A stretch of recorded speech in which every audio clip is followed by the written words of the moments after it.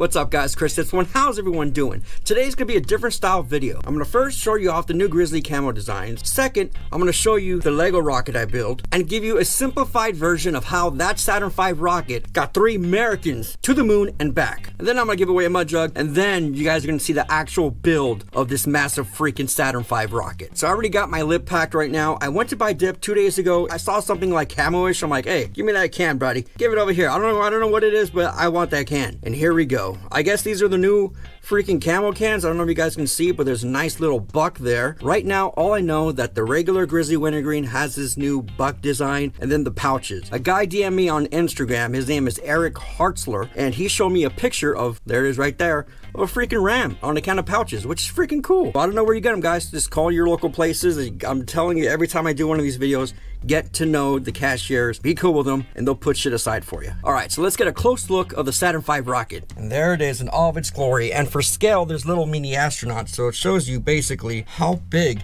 this sucker actually is. Isn't it freaking breathtaking, Keanu? Isn't it breathtaking, bro? You're breathtaking! Ah, oh, thanks, bro. All right, this rocket is broken down to three stages. We got the first stage, second, and the third. Up here in the command module, that's where Buzz Aldrin, Michael Collins, and Neil Armstrong are. We're in Florida, Cape Canaveral. This shit, five, four, three, two, one. It's going, it's going up, it's going up, it's going up. 42 miles up, the explosive bolts detach the first stage. Be careful. It was at this moment that he knew. He up. That's what I did not want to happen. This separates, right? This just ends up landing in the in the Atlantic Ocean. These five J2 rockets power up. It's still going, bitches. It's still going. At about 103, 106 miles, stage two detaches. This sucker goes. This engine starts up, and now we're about 118 miles up, right? We're going around the Earth, right where they like to call it the parking orbit. So we're gonna be orbiting the Earth for another I don't know, two hours. We'll probably go around it like two, three times, making sure it calms, everything's chill, everything is good to go. And then this sucker just fires up again. Whew. We get the right trajectory towards the moon. Now we're in the vacuum of space. Now we're gonna do one of the most important maneuvers in this whole mission. These will just pop out. That will pop out. Oh shit. So these pop out. Everyone's in here, guys. All three astronauts are in here. Now Mike Collins, he has to do a 180 on this sucker dock the lunar lander. This says bye bye, bitch. And this is the only piece that goes to the moon, right? So now we're just headed to the moon, bros. Now we're in lunar orbit. We're going around the moon. Now, right before we detach and go down to the moon surface, Neil Armstrong and Buzz Aldrin go down to the lunar module. They'll transfer in here. Mike Collins, he doesn't get to walk on the moon in 1969. It was only Buzz and Neil. So they detach, right? And Mike Collins is just going to stay orbiting the moon. So now we're slowly descending, right? Buzz Aldrin and Neil Armstrong are shitting their pants right now. Boom, they land on the moon, the Eagle has landed. They go down to the moon, they plant the flag, they collect moon samples. I think the, the first trip to the moon was like 48 pounds worth of rock. Um, they placed a mirror on the moon where we can shine a laser from Earth to the freaking moon, and it'll tell us exactly the distance from the moon is to us. Dude, the moon from here from Earth is like 232,000 miles away. So they planted a freaking mirror thingy where we can shine a light, and we now know that every year the moon is an inch and a half away from the Earth. It moves further from the Earth. So here we go. We got our samples. We're in the we're, we're back in, and it's time to meet up with Mike Collins in orbit. The descent stage stays on the moon. Just this little sucker goes up. So they take off, perfectly timing until they rendezvous with Mike Collins, who's been orbiting Earth. Boom. So they dock. Rocks go back. Neil and Buzz Aldrin go back to the command module, and boom, this just stays in orbit in the moon. Most likely just crashes into the moon. These suckers go back towards Earth. It's about a three day trip, guys. You're in this little service module where two other dudes, dude, you're if you're claustrophobic, hmm, good luck. So now we're in Earth orbit, right? We don't need this sucker anymore. That detaches, and if you guys see any space movies or astronaut movies, they got a heat shield down, and that's how they go and break into Earth's atmosphere.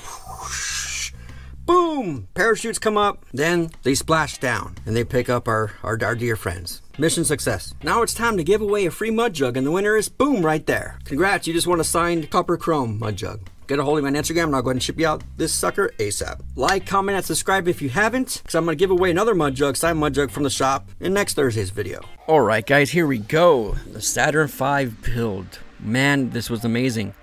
This is the box right here. It came with like 12 freaking bags. The way I did it is I, I, I broke it down to like three or four bags a night. And I actually just spread it around, right? This is the manual. This is the building instructions. It's freaking like a book.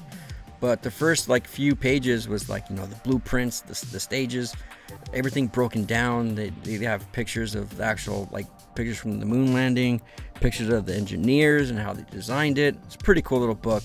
But I decided to use my iPad for the instructions. But here we go. Here's the build. This was uh this wasn't easy, man. This this really was not easy um, because of the way it's designed, right? I mean, you it's broken down into three stages, and that's how they kind of break down the bags, which is actually nice. But it goes up, right? So you're building up, and it's this narrow thing. So, but I mean, regardless, it was it was it was still fun. Um, it, it, looks like it's solid, but it's not. There is some definitely, definitely there's some hollow points. It's a lot uh, lighter than it looks, but it's not light. It still has some weight to it, if that makes any freaking sense. But I filmed this whole build. Again, it took around uh, eight hours, I think. Um, there was a lot of parts that were done in pairs or in fours. Like you'll see right here I mean, it was so basically it was kind of rep- repetitive, but also sped up the process. You're either building four like pieces or just two. Um, most of the build, I want to say 50% of the build or 60% of the build was just the first stage alone. That's that's the biggest freaking that's the biggest stage, right? It has the five F1 rockets.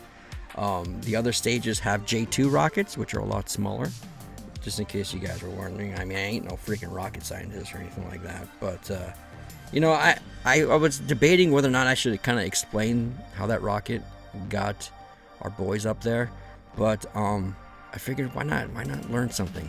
I mean, just I mean, I have friends that would probably never realize how this rocket worked. Um, and I hope at least a few of you guys actually appreciated that and learned something today rather than you know grizzly this or dip that. I mean, there's more than life to dip. Unfortunately, not unfortunately, fortunately, there's more than life than just dipping. And boy, speaking of dipping, I need a filler here. But here we go. I think this one was just two like pieces. Here we are building four. Man, this is I'm going too fast. I think I sped this up too fast. What do you guys think? I mean, if I, this is eight times speed. If I would have done like two or four, oh man, that would have been like a 40 minute video. Look at that. Look at those flags, dude. Oh, it's so sick. Now, this is a Lego created set. Um, as a designer or a Lego fan, you can actually submit your own designs, upload them to lego.com, and you can have fans to vote on them or backers. it doesn't cost anything. You just be like, hey, I back this dude's design. And if he makes it, it's damn right I'll buy it, right? So if you get over 10,000 backers on that, uh, Lego, you'll, you'll get a official response from Lego and they'll send it to their de- design team and their engineers.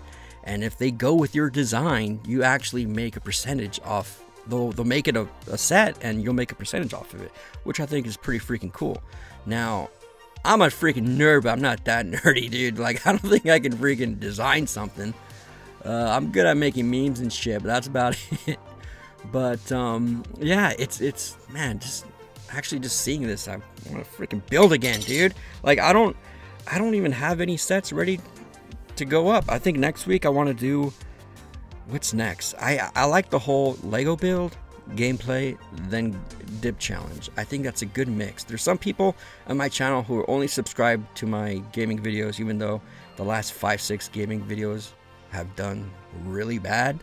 and I'm kind of debating whether or not I want to still make those. But I think there's some people that just subscribe for my gaming, and some people who just subscribe to for my dip challenges. And then there's obviously the hardcore fans out there who are probably the only ones watching or listening to me right now. Everyone else has clicked off and you know, pissed off because they didn't want a MudJug. Damn bastards. Freaking, they must be liberals. I'm just saying. They want free shit. mm. Sorry, guys, I load my lip. We're not loaded. I need a refresher. But Dude, this was so fun. Man, look at that. Just, just seeing it come together. This, this, this is just the first stage. Now, these are how the rockets are put together. You got these little spikes.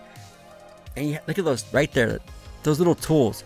They snap in hard. And when they freaking click, they're steady. They ain't going nowhere, dude. Super cool. This was like putting the the engines on this rocket is was probably the most satisfying fun part of this build. I guess it's because there's orange in them. It was different and it wasn't as repetitive or same pieces used in, you know, the rest of the rocket. But here we go. You guys can see the uh, what they made it look like, the fire or whatever, right? That's pretty cute. Now they actually sell like you go to Amazon, they'll sell like lighting kits.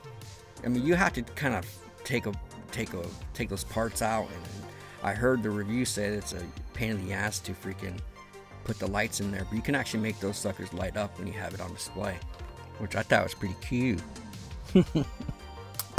this is massive rocket. Um, I believe it's 34, 35 inches tall. You can display it laying down or display it standing up. Um, I wanted it in my room, but nah, man, I think I want it here because I'd rather display it standing up.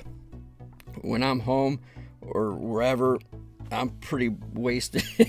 I'm gonna knock that sucker out. Or I'm gonna get so damn high that I'm gonna start playing with it, and it's not gonna be good. It's gonna be bad for the rocket. And so I'm just gonna leave it here. So if you come visit the shop, uh, when you come my cubicle, you can see my little rocket that I built, and you can hold it. and You can touch it if you want.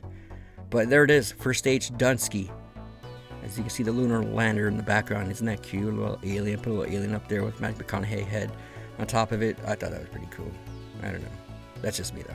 So here we go. We're building the second stage. This, um, again, that first stage is most of the work. Now we're now we're just coasting now, dude. Um, the third stage is a lot smaller, so it's not as obviously thick, but this is this is still pretty pretty freaking thick, dude. Now you can see it's it's hollow, right? But those brackets, just those two long pieces right there, that would that's what keeps it together, man. It's crazy. I mean, how do you design this? I mean, you gotta be playing with Lego since you're like out of your mom's vag in order to have the knowledge. Like I don't, I can't do this, dude. My whole life. I mean, as far as a Lego set build, this is my fifth build, sixth build. That's it. And I'm like, dude, how do these guys come up with it? How do you know what piece to put on there? I mean, is there pieces in the set that are unique to only the set? Who knows? But some of you dudes, man, you guys, I mean, the, the Lego videos aren't the most popular ones, just put it that straight. But I got a few of you guys tag me on your Lego builds and tell me you're making me go back to playing with Legos. I thought that was pretty cool. Uh, that wasn't my intention, guys. Um, but only cool guys play with Legos. At least that's what my mom used to tell me. yeah, I mean, as far as this channel is concerned, guys, it's it's one video a week, and I'm content with that. I can still enjoy my weekends. Came a point like one of the main reasons why I wanted to just do one a week is is I was losing subscribers. Whenever I uploaded a video that that day, I would lose more subscribers than I would gain. Man, I was getting like oh my god, a year or two ago I was getting 100 subscribers like almost a day. Now I'm getting like freaking 2. Like YouTube has digged me about 95% of my views, of my revenue, which I wasn't making much to begin with, my subscribers, all that stuff. So why am I going to bust my butt for two videos a week and get that in return? That was the whole. Well, that was the real reason why I wanted to do one a week. Hmm. Something really cool though. Um, for the next Lego build, I'm gonna get the Stranger Things set, which is one of my favorite shows. I mean, I don't know if you guys watch Stranger Things, but I mean, everything I built was either a rocket or a vehicle from from a movie, and I haven't done a house yet, so that will be definitely pretty cool. Then that one has more pieces than this one. This one has 1,969, which is nice considering the moon landing was in 1969. So I think they did that on purpose. I didn't I didn't count every piece to make sure it was 1969 or 1969, but um, yeah. So I I'll, I'll, take Lego's word for it. That's pretty cool. But this this um, Stranger Things one is 2200. I want to say, which is definitely cool. I mean, the, the problem with this one is filming it, right? It's, it's it goes up in a tower. But if I'm building like a house, I think I'll be able to get away with just one angle, which would be pretty cool because just doing this was, was very difficult to, you're building something and then you're trying to snap it in, but then you look at your viewfinder and you're snapping it in out of frame. So you have to pull back and make sure you're centered, which is really difficult to do. but um, I'm not gonna bore you with that. With that, this is this is it, guys. This is the the last stage here, and uh, looks like we're done ski here. We just gotta snap these suckers on, right? Yeah, you got that J2 rocket, just one J2 rocket, and we're done. That. Oh no, wait, we're not done. Oh, that. No, dirt. The command and service module, of course. Now those little spikes up there. If something went wrong with liftoff, that front spike is like an uh, ejection seat that's connected to the actual uh, service module, which is really cool. But after that first stage and that first rocket comes out, you're screwed. You're screwed out of luck. But there it is, guys. I hope you enjoyed this video. That's where the lunar module goes. We're all Dunsky here. And there it is in all of its glory. I hope you guys this video, like, comment, and subscribe, and I'll catch you guys next week. And you guys all know this. If you ain't dipping, you ain't living.